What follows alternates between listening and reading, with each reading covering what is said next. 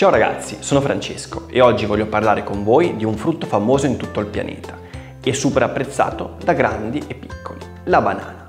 La banana è coltivata in numerosi stati del mondo, prevalentemente caratterizzati da un clima di tipo tropicale, con temperature che non scendono mai sotto i 18 gradi e con precipitazioni abbondanti.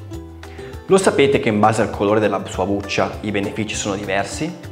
Le banane più verdi, per esempio, sono poco zuccherine, hanno un indice glicemico basso e il senso di sazietà che danno dura più a lungo. Per chi preferisce il sapore più dolce, invece, la banana con buccia gialla è la scelta perfetta. Infatti, nonostante la sua dolcezza, data dagli zuccheri, fruttosio, è più digeribile ed è ricca di antiossidanti.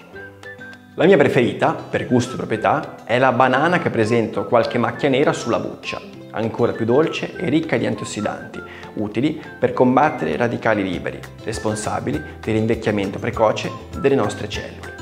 La banana è un concentrato di vitamine, come la C, la A e la B6, un potente mix di salute per combattere gli stati infiammatori del nostro corpo, per la salute di pelle e occhi e, più in generale, di gran parte del nostro organismo.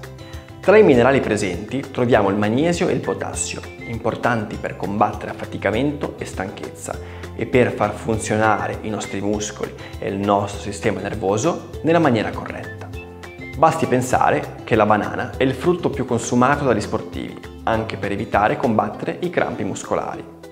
Le banane contengono inoltre triptofano, una sostanza capace di aumentare la produzione di serotonina da parte dell'organismo, migliorando di conseguenza l'umore. Quando mangiare la banana? Al mattino per esempio, con dello yogurt e una manciata di frutta secca, o affettata su un gustoso e nutriente pancake, o durante gli spuntini di metà mattina, per mantenere elevato il vostro livello di concentrazione tra una lezione e l'altra, o metà pomeriggio, prima o dopo un allenamento. Mi raccomando, la prossima volta che andate al supermercato ricordatevi delle banane.